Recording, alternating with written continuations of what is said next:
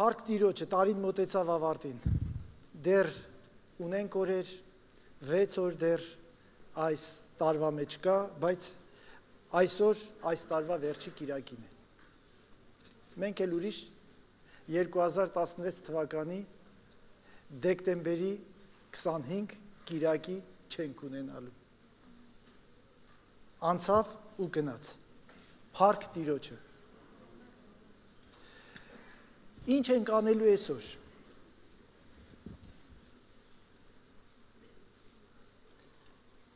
Աստված իմաստություն տա, որ այսօր նօգտագործենք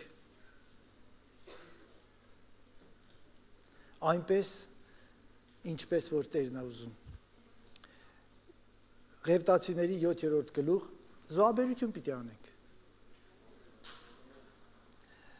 Ղևտացիների 7-րդ գլուխ 11 խոսքից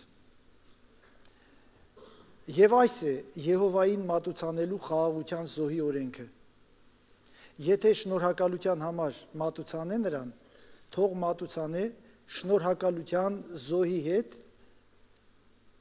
յուղով զանգված անխմոր շոթեր եւ յուղով օծված անխմոր լավաշներ եւ բարակ ալուրից յուղով զանգված հունցած շոթեր խաղաղության զոհեր, շնորհակալության զոհեր։ Ինչ է սրանք։ Դուք տեղյակ եք, որ հին ժողովուրդները բոլորն ունեցել են զոհաբերություններ։ Ամեն մեկը իր պատկերացրած ձևով, ամեն մեկը իր Աստծուն, եթե հեթանոսներ են, իր շինած Աստծուն համապատասխան զոհեր են արել Բայց մեր Աստվածը, կենթանի Աստված, ինքն է պատվիրել, թե մարդիկ ինչպիսի զոհեր անեն։ Քանի որ ազգերի Աստվածները կուրքեր են, քանի որ ազգերն իրենց կուրքերին իրենց ձեռքով են շինում, նաև իրենց շինած կուրքերին համապատասխան, իրենց պատկերացրածին համապատասխան զոհեր են անում եւ կարգ են սահմանում։ Բայց քանի որ Մենք մեր Աստծուն չենք ստեղծել, այլ մեր Աստվածն է մեզ ստեղծել։ Քանի որ մեր Աստվածը մեզ ստեղծել է, որpիս իր առաջ ապրենք ուղիղ եւ պաշտենք իրան ու երկրպակենք ու նաեւ զոհենք նրան մեզ տվել է ամեն կարգ եւ մեր եթե սկիզբ ունենք մենք պաշտամունքի եւ զոհաբերության մեր սկիզբը հասնում է մինչև Հրեաստան, հասնում է մինչև Իսրայել, հասնում է մինչև Աբրահամ եւ Աբրահամի սերունդ։ Եվ ահա գիտենք, որ Իսրայելի մեջ շատ տարբեր զոհաբերություններ կար եւ շատ տարբեր զոհեր եւ այդ զոհերը կատարելու օրենքներ։ Կար ողջակիզում, կար խաղաղության զոհեր, կային կար կարմիր երինջի զոհի օրենքը, կար երկու նոխազների զոհի օրենքը եւ այսպես շատ զոհեր կար զատկի զոհի օրենքը բայց այդ ամենի հետ նաեւ կար մի օրենք այդ այն էր որ ես կարդացի. Խաղաղության զոհ շնորհակալության համար խաղաղության զոհ շնորհակալության համար Այսօր մենք պիտի խաղաղության զոհ անենք շնորհակալության համար։ Եվ եթե լուրջ լինեք, դուք կարող եք շատ պատճառ գտնել այս զոհն անելու համար։ Այս զոհը Իսրայելում կոչվում էր Զևախ Շլամիմ, Շալոմ, Շլամիմ։ Ինչ էր այս։ Կամ ինչ էին հասկանում իսրայելցիները, երբ որ ասում էին շալոմ հասկանում էին համենայն դեպս ոչ այն ինչ որ այսօր մենք խաղաղություն բառն ասելով հասկանում ենք մենք երբ որ ասում ենք խաղաղություն նկատի ունենք որ կռիվ չկա իրար չեն սպանում իրար հետ չեն վիճում խաղաղություն բայց երբ որ հրաներն են ասում շալոմ ուրիշ բան են հասկանում դրա մեջ կա ամբողջականություն չկա պակաս մարդ ընտանիքում շալոմ շալոմ, քեզ շալոմ։ Թող քո ընտանիքում պակասմարտ չլինի։ շալոմ, ամբողջականություն։ Պակաս մարդ չկա ընտանիքում։ Չկա պակաս առողջություն ընտանիքում։ Թող լինի շալոմ քո ընտանիքում։ Բոլորը լինեն տանը։ Բոլորը լինեն ընտանիքում։ Չպակասի ոչ մեկը։ Պակաս առողջություն չունենա ոչ մեկը։ Ամեն։ Շալոմ որ տանը լինի ապահով ամեն բան։ Դա շալոմն է։ Չպակասի գոմից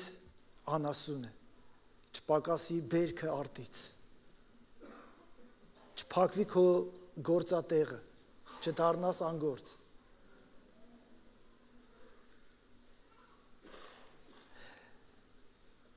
Լինի ամբողջական եւ պակաս չլինի քո քաղաքից ոչինչ քո երկիրը լինի ամբողջական եւ քո երկրից չպակասի ոչինչ շալոմ որ ապահով ապրես քո տան մեջ ոչինչ չսպառնա քեզ որ լինի շալոմ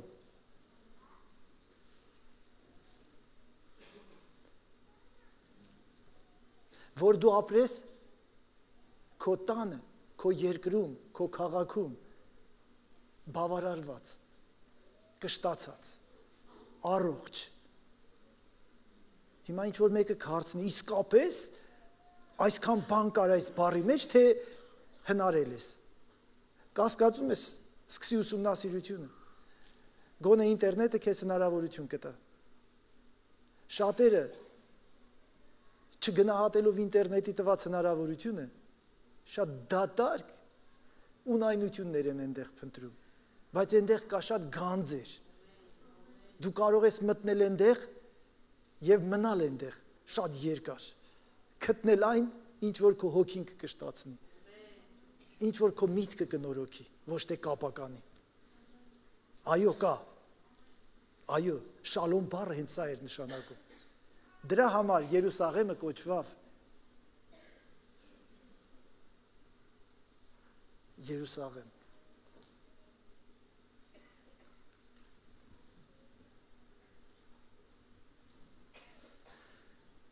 որ մարդը լցնի մարդը լցված լինի ամբողջական, խաղաղ, ուրախ սրտով։ Սա շալոմն է։ Որ չլինի կորուստ, լինի միայն ձերկբերում։ Ամեն։ Մենք Աստված պատվիրում էր Իսրայելին, որ այսպիսի մի զոհ անեն, եւ իհարկե տալիս էր այս զոհի օրենքն ու կարգը։ Այս խաղաղության զոհն անելուց անպայման շնորհակալության շնորհակալության պիտի անեին։ Անպայման շնորհակալության պիտի անեին։ Սա պարտադիր օրենք էր։ Դուք շատ օրենքներ չեք գտնի, որ այս օրենքը անելուց անպայման գո այս զոհն անելուց անպայման շնորհակալությամբ անեք։ Մեղքի զոհը անելուց չկար, որ անպայման պետքա շնորհակալությամբ անեին, բայց այս խաղաղության զոհը անպայման շնորհակալությամբ պիտի անեին։ Այս զոհը յուրատեսակ ապահովագրություն էր, որն Աստված առաջարկում էր իր ժողովրդին։ Ուշադիր լսեք, ես չեմ ուզում արագ-արագ ասեմ ու անցնեմ առաջ։ Ես անգամ հոգնել եմ իմ արագ-արագ ինչ որ բաներ ասելուց։ Ես ուզում եմ ասել դանդաղ, որ հասկանաք։ Ոչինչ որ լավ չի լինի։ Ոչինչ որ ցայնագրությունը լավ չի լինի, տեսագրությունը լավ չի լինի։ Բայց ես ուզում եմ ինչ որ լուրջ բան հասկանաս։ Ալելույա։ Աստված ուղակի այս զոհը կատարելով առաջարկում էր ապահովագրեք ձեզ։ Ապահովագրեք, որ լինի շալոմ։ Իսկ եթե շալոմ է, շնորհակալություն հայտնեք, որ շարունակվի շալոմը։ Որ շալոմ տվողն իմանա, որ դուք հասկանում եք, որ այդ ձեզանից չի, այլ Աստծուց է։ Ամեն։ Ովքեր էին, ովքեր պիտի անեին այս զոհը։ այս զոհը հիմնականում անում էին 3 պարագայում։ Եվ այս 3 պարագան իր մեջ ընդգրկում է բոլոր մարդկությանը, բոլոր իրավիճակներում։ Առաջինը նրանք ովքեր փրկվել էին վտանգից, ծանր հիվանդությունից, գերությունից, ազատվել էին, անում էին այս զոհը, շնորհակալության զոհը, խաղաղության զոհը, շնորհակալության համար։ Իմ սիրելի քույրեր, եղբայրներ, մարդկությունը շատ դաժան ճանապարհ է անցել։ Եղել են նաև գերություններ, եղել են նաև պարտքի դիմաց ծառայություններ եւ այլը։ Հիմա դրանց ուրիշ տեսակները կան։ Հիմա ձևափոխվել է ավելի քաղաքակիրթ ձևեր են ընդունել դրանք, թեկուզ այսօր կան, բայց այսքան բիրտ ու այսքան ցինիկ դրսևորումներ չունեն։ Չնայած իմաստը հաճախ չի փոխվում։ Համենայն դեպս նրանք ովքեր վտանգից ազատվել էին, փորձանքից ազատվել էին, նրանք ովքեր ծանր հիվանդությունից ազատվել էին, նրանք ովքեր գերությունից ազատվել էին, այս զոհը անում էին։ Կա այստեղ մեր մեջ մեկը, որ վտանգից ազատվել է։ Փորձանքից ազատվել է։ Ծանր հիվանդությունից ազատվել է։ Ինչ որ տեսակ գերությունից ազատվել է։ Ծխախոտի գերությունից, նայելու գերությունից, ինտերնետի գերությունից եւ էլ ուրիշ շատ բաներից։ Կա այստեղ մեկը, որ ազատվել է։ Ուրեմն դու այսօր լավ առիթ ունես այս զոհն անելու։ Ամեն։ Ես ժամանակ չունեմ սրանց վրա երկար կանգ առնելու, բայց դու հասկանում ես։ Մարդիկ, ովքեր ազատվել էին ակնհայտ վտանգից, փորձանքից, ծանր հիվանդությունից, գերությունից, անելանելի վիճակից։ Նրանք անում էին։ Այս զոհն անելու համար առանձնահատուկ օր սահմանված չկար։ Կարող էին անել ցանկացած օր եւ առանձնահատուկ զոհ չէր սահմանված, որ լիներ անպայման 1 տարեկան գար կամ լիներ կարմիր երինջ, կարող էին զոհել ամեն բան, ինչ որ կարող էին։ Պարտադիր չէր անպայման ես լիներ, կարող էր լինել տատրակ, այն ինչ որ մարդն ուներ իր հնարավորության սահմաններում։ Աստված ամեն բան իր ժողովրդի հետ վարվելուց այնքան նրբանկատ ա եղել, այնքան հաշվենկատ, որ հանկարծ մեկը չասեր, ես ուզում եմ շնորհակալության զոհ անեմ, բայց ունեմ ընդամենը 3 հատ հավ։ Կարող եմ դրանցից մեկը զոհել, բայց Աստված ասում է մի հատ գարբեր, որտեղից բերեմ ափսոս։ Եթե Աստված ավելի բարի լիներ ու ասեր մի աղավն ու ցակ, այնքան հանգիստ կլներ։ Ես կանեի այդ։ Այսօր այստեղ նստած ցանկացած մեկը կարող է այդ զոհն անել իր ունեցածի չափով, իր կարեցածի չափով։ Ամենքս կարող ենք։ Ուրեմն զոհի համար էլ հատուկ որոշված չէր։ Լիներ զոարակ, լիներ խոյ, նոխաս, թե լիներ կար։ Ամեն ինչ, ինչ որ կարող էր մարդն աներ։ Միայն հետը պետքա ուղակի ուտելու հաց լիներ։ Իսկ հաց բոլորն ունեն ուտելու եւ այն ժամանակ են ունեցել։ Երկրորդ խմբի մարդիկ այն մարդիկ էին, որոնք ինչ որ ժամանակ հայտնվել էին դժվար պահի, դժվար իրավիճակի մեջ եւ սկզբից ուխտ էին արել Տիրոջը որ եթե Տերը փրկի նրանց այս իրավիճակից, պիտի գնան Տիրոջ տաճարը կամ ինչ որ խոստացված վայր եւ պիտի զոհեր մատուցեն։ Եվ երբ որ Տերը կատարում էր նրանց ուխտը, նրանց ազատում էր եւ նրանք արդեն գնում էին իրենց խոստացած տեղը, տանում էին իրենց խոստացած զոհը եւ այդ խաղաղության զոհն էին անում շնորհակալության համար կա մեր մեջ մեկը, որ դժվար կացության մեջ է եղել կամ դժվար խնդրի առաջ է կանգնել եւ ասելա Տեր, եթե դու ինձ ազատես, ես ինչ որ բան խոստանում եմ։ Կամ չեմ էլ խոստանում, կա մեկը, որին ազատել Աստված։ Օ, Տեր իմ Աստված։ Այստեղ շատերը կան, որ առիթ ունեն Ես ասեցի, այսօրվա զոհը, որ մենք պիտի անենք, բոլորին է վերաբերվելու անխտիր։ Երորդ խումբը, որ այս զոհը պիտի անեին, խաղաղության զոհը շնորհակալության համար։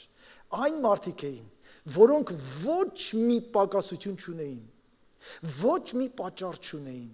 Նրանք ուղակի սիրում էին Աստծուն։ Դու առաջինի մեջ քեզ չտեսար, երկրորդի մեջ չտեսար, որ խիստ կասկածում եմ, որ անաչառ եթե լինեիր կտեսնեիր, թե առաջինի մեջ թե երկրորդի մեջ։ Բայց եթե չես տեսել քեզ առաջինի մեջ եւ երկրորդի մեջ, երրորդի մեջ ամեն բան լավ է։ Խաղաղությունա քո տանը։ Ոչինչի պակասություն չունես։ Առողջ ես դու, առողջ է ընտանիքդ։ Բիզնեսը ծաղկում է։ Ամեն ինչ լավ է։ Ես շատ եմ ուզում, որ Տիրոջ տան մեջ շատերը կամ բոլորը այսպեսին լինեն։ Բայց իրականությունն այն է, որ ունենք եւ երբեք, երբեք լուրջ քրիստոնյան մանավանդ լուրջ քարոզիչը պիտի երբեք չի իդեալականացնի կյանքը, որովհետեւ կյանքը իդեալական չի եղել Ադամի մեղանչելուց հետո, իդեալական էր մինչև մեղանչելը։ Եվ իդեալական չի լինելու կյանքը, քանի դեռ Տեր Հիսուս չի եկել եւ այս երկրի վրա չի հաստատել իր հազարամյա թակավորությունը եւ դրանից հետո հազարամյա թակավորությունից հետո նոր երկինքը եւ նոր երկիրը։ Իդեալական չի լինելու։ Լինելու են փոթորիկներ, քամիներ, լինելու են վարարած գետեր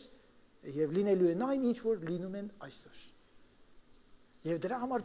անհրաժեշտ է լինելու նաև այս զոհերը։ Ամեն։ Փառք Տիրոջը սրա համար։ Մարդիկ չունեին ոչ մի պատճառ, ուղակի սիրում էին Տիրոջը ուրախանում էին Տերով, հավաքում էին իրենց ընտանիքը եւ ասում էին, որովհետեւ հիվանդ չենք, որովհետեւ աղքատ չենք, որովհետեւ ոչ մի բանի պակասություն չունենք, որովհետեւ ամենքս տեղում ենք, որովհետև խաղաղություն ունենք, ապահովություն ունենք, որովհետև շալոմ է, եկեք անենք զևախ շլամիմ։ Խաղաղության զոհ անենք շնորհակալության համար։ Եվ հավաքում էին ու անում էին։ Եւ գլուխներ հետո Տերը երկրորդ անգամը իր խոսքի մեջ անդրադառնում, որովհետև սա Ղևտացից գրքից եմ կարդում։ Ղևտացից գիրք այն հանձնարարությունն է, որ Տերը անձամբ հանձնարարում էր Մովսեսին, թե ինչպես անեն զոհերը, ինչ կարգ ունենա այս կամ այն ծիսական արարողությունը։ Եվ ահա 23-րդ գլխում, 22-րդ գլխում Տերը նորից է անդրադառնում Մովսեսին ու ասում, երբ որ գոհություն զոհ մատուցեք Եհովային։ Երբ որ չի ասում եթե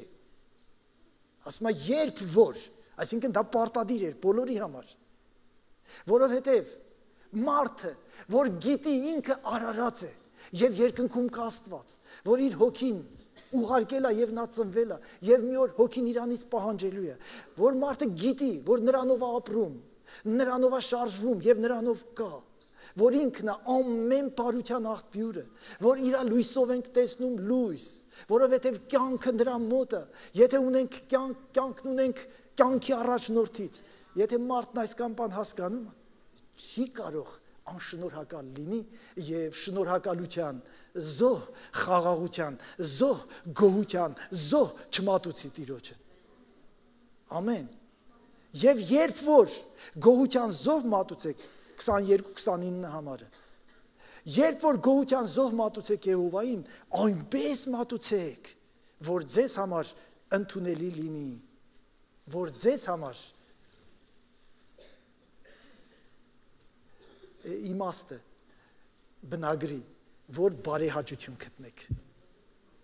որ ձեզ համար ընդունելի լինի։ Երբ որ ընդունելի է լինում, Տիրոջ բարեհաճությունն է գալիս։ Քանիստ եք ուզում, որ Տերը տեսնի, որ